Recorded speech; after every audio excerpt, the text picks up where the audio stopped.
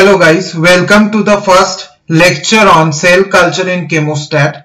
So first we will know what is bacterial cell growth and how it is done. So in bacterial cell growth you already know that you require a media and in this media you add a you add bacterial cells. Alright, so if you use a media, bacterial cells will grow by utilizing this media and certain bacterial cells produce some essential compounds by utilizing this media like antibiotics are produced by some bacteria. So what do they do? Part of the nutrients of this media is utilized for bacterial cell growth and the part of it is converted into production of useful compounds like antibiotics. Alright. So substrate plus cells, substrate here is the media that you give for the growth of bacterial cells so substrate plus cells give you extracellular product plus more cells. Okay. So this is the fundamental thing that is happening when you whenever you are working on bacterial cells in a media. So there are several different phases of bacterial cell growth. We will discuss that in detail when we will uh, do in microbiology. But here I am going to give you a brief introduction on that. So there are mainly four different phases of bacterial cell growth. The first is called the lag phase. The second is called the exponential or the logarithmic phase.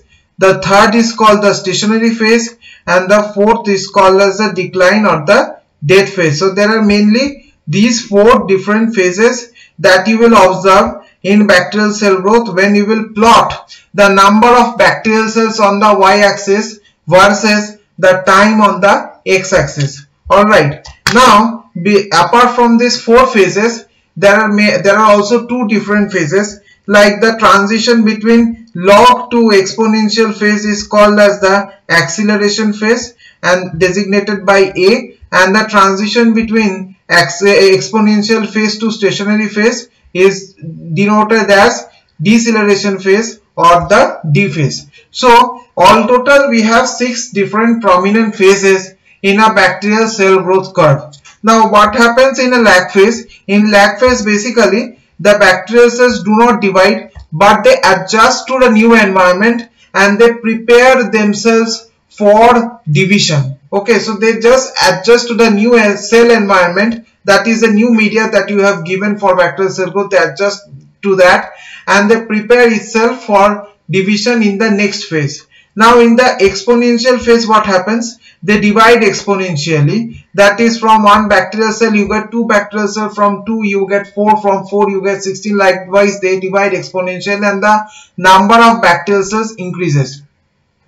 During this phase the exponential phase the there is no scarcity of the nutrient media. You have ample of the nutrient media and the bacterial cells can utilize that for their own will and they can grow at an exponential rate. So there is no binding on the media. There is no scarcity of the media. There is plenty of nutrient media for the bacterial cells to perform exponential growth. But what happens as more and more bacterial cell grows, more and more bacterial cells will be continuing to utilize that nutrient media. So after some time, scarcity of nutrient media will continue to happen. Okay, you will notice that the nutrient media is falling short as more number of bacterial cells are growing. So on transition from exponential to stationary phase in stationary phase what happens? The number of bacterial cells that are growing is equal to the number of bacterial cells that are dividing because now you don't have that much of media to support all the bacterial cells all the new bacterial cells. There now gradually there is scarcity of media is occurring. Okay so there is scarcity of media is occurring because there are now plenty of new bacterial cells and they do not have ample of nutrient media now to perform exponential growth. So what happens is stationary phase, the number of bacterial cells that are uh, being born is equal to the number of bacterial cells that are having their death. Okay. So after stationary phase, you have the death or the decline phase. During this phase, what happens? The bacterial cells uh, become dead because as the more and more bacterial cells will grow they will continue to produce some toxic inhibitory compounds and there will be depletion of nutrient media. So because of all of this gradually the after a certain period of time the bacterial cells will be dead. So after stationary phase you have the death of the decline phase. So there are mainly four different phases and the transition from lag to exponential phase is called as the acceleration phase and the transition from exponential phase to stationary phase is called as the deceleration phase.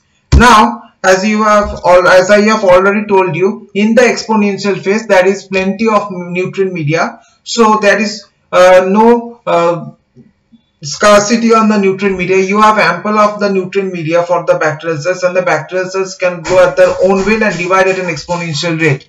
That is the cell growth is independent of the nutrient media.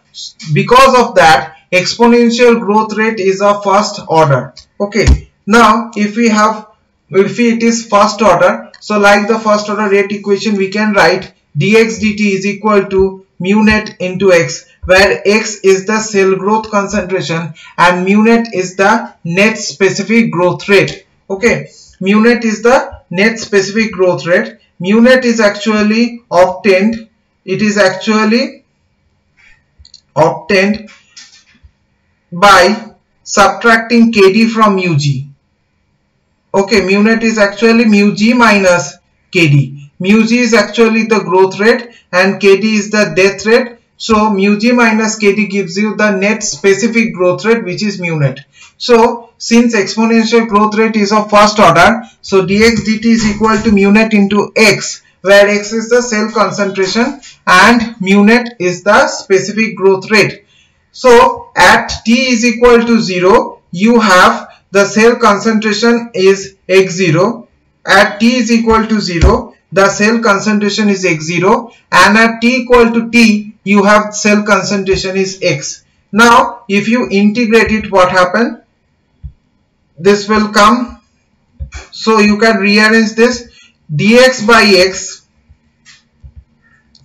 is equal to you have mu net into dt okay I'm just rearranging this equation. So mu net into dt. Now we will integrate this equation. So we will integrate this on both sides. This will be from 0 to t. And uh, this will be from x0 to or x0 to x. Okay. So if we integrate it here we will get ln x is equal to mu naught into t. So on integration we have ln x by x naught is equal to mu net into t or x is equal to x naught into e to the power of mu net into t so this is our final uh, equation on the exponential growth rate okay so this is the final equation x is equal to x naught into e to the power of mu net into t. This is what happening in case of exponential growth rate because it is first order rate equation. Now we can calculate the doubling time TD. For doubling time TD we have uh, we will take x is equal to 2x naught. We will take x is equal to 2x naught and then we put the value this value in this equation. So if we put this value in this equation, so we can calculate doubling time as ln2 by mu net which is 0.693 by mu net. So this is the doubling time. Alright, this is the doubling time dt. Now these two formulae are very important because questions have been asked many a times in GATE on calculating the doubling time or calculating the uh, cell mass concentration in the exponential growth rate. So please remember these two formulae. Now like the exponential growth rate it is of first order likewise the death rate also is of first order. So in death rate the equation is written as dx dt is equal to minus of kd into x minus because in the death rate the cell growth is decreasing and kd here represents the death constant. So dx dt is equal to kd into x. So in just as in the previous case, if we integrate here as well, we will get x is equal to x naught into e to the power of minus kd into t. x is equal to x naught into e to the power of minus kd into t. So this is the death rate equation which is of first order. Now let us see yield coefficients. Yield coefficients are written as yxs. It is this is written as yx by s but it is read as yxs. So yxs is actually minus of delta x by delta s. So this is the yield coefficient. Yield coefficient means the yield of cell mass concentration with respect to a particular substrate. Alright. So yxs is actually minus of delta x by delta s. Now delta here means the change. So here I can write minus of if x is the final concentration uh, final cell concentration and x naught is the initial cell concentration. So I can write as x minus x naught in place of delta x and in place of delta s I can write as s minus s naught. Okay? S minus s naught. So this can also be written as x naught minus s x naught minus x by s minus s naught.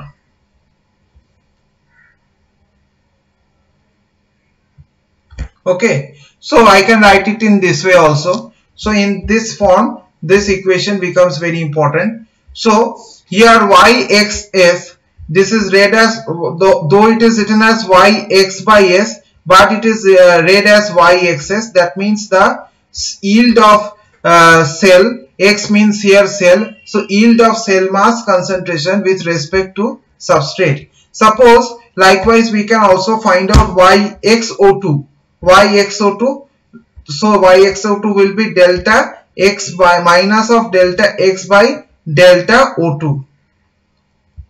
Alright. So likewise we can find out YPS which is the yield of product concentration with respect to the substrate so YPS is minus of delta P by delta S. So these two formulae, these three formulae are very important. Now we have maintenance coefficient.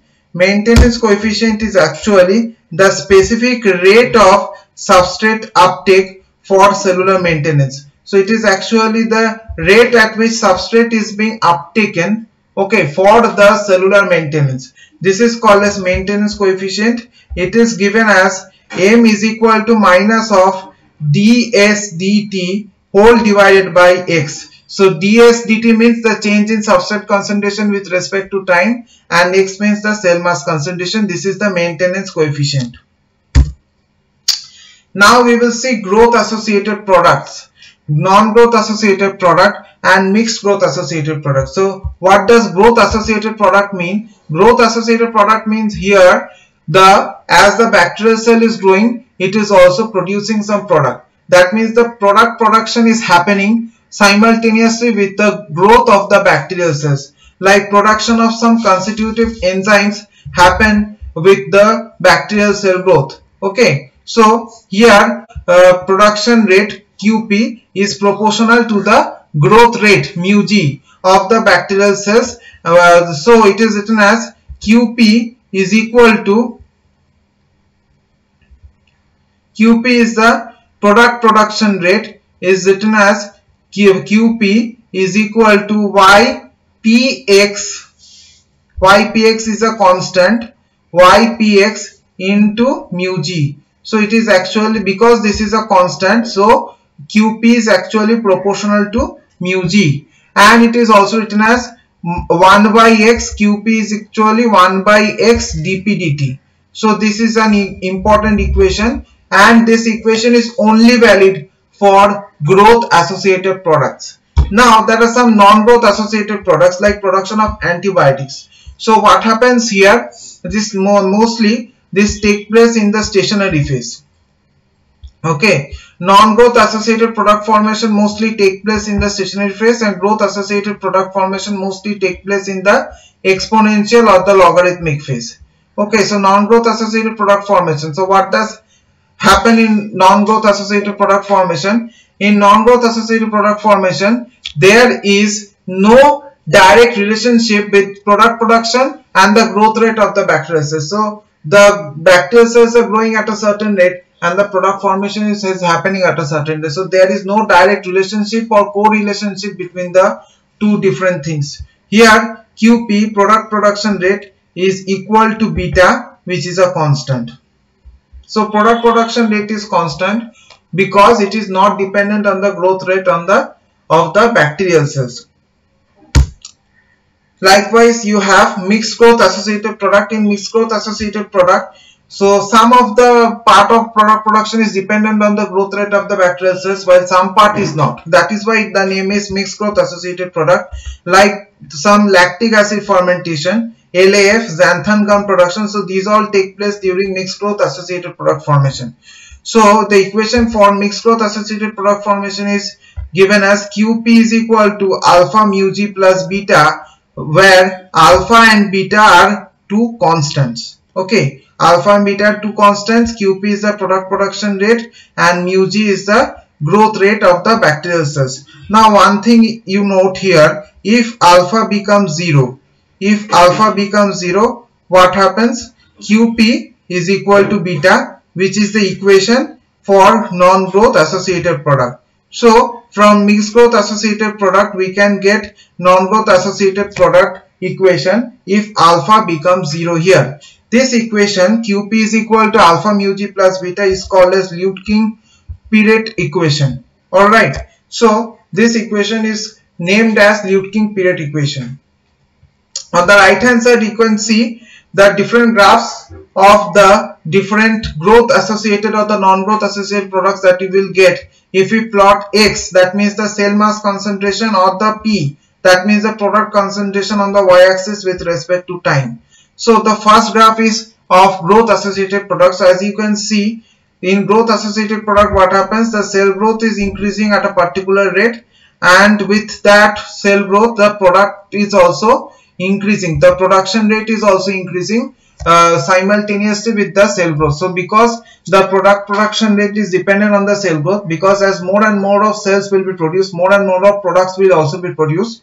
So here uh, this phase is called as growth associated product formation. The second diagram shows you mixed growth associated product. Here you can see this difference has has been widened than the previous case. Here what happens, some part of the product formation is dependent on the growth rate while some part is not dependent on the growth rate. And on third diagram shows you the non-growth associated product formation. That means what? The cell growth concentration is happening at a certain rate while product formation is completely independent of the cell growth. There is no direct relationship between that. Product formation is ha happening at its own rate. It is not at all bothered about uh, the rate at which the cell growth is uh, happening alright like production of antibiotics now why uh, this um, non-growth associated product formation this is not dependent on the cell growth uh, because suppose when you are uh, some bacterial uh, strains are secreting antibiotics uh, it is not dependent whether the bacterial cells are in log phase or lag phase or stationary phase or uh, death phase because as long as the bacterial cells are alive they will secrete the antibiotics. So the antibiotic production or the non-growth associated product formation is not dependent on which phase the bacterial cells are living in whether they live in the log phase whether they live in lag phase whether they live in stationary phase they will continue to produce the antibiotics as long as they are dividing okay so mostly the, the non-growth associated product formation like production of antibiotics happen in the stationary phase because at that point of time the there is no dependency on the nutrient concentration of the bacterial cells. You have, if you remember, in the bacterial growth curve, you have this thing. So the this becomes linear part. Okay. With time, you do not have any increase in the cell growth